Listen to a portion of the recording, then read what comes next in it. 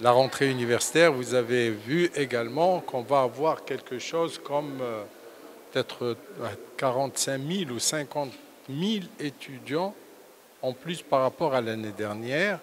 Donc il faut les gérer. Euh, on va peut-être faire appel beaucoup à l'enseignement à, distance.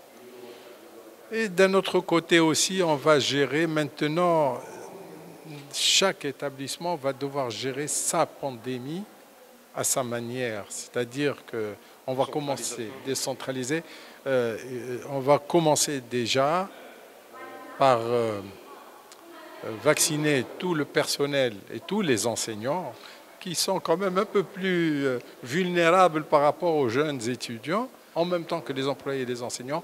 Les étudiants de première année vont être vaccinés tous.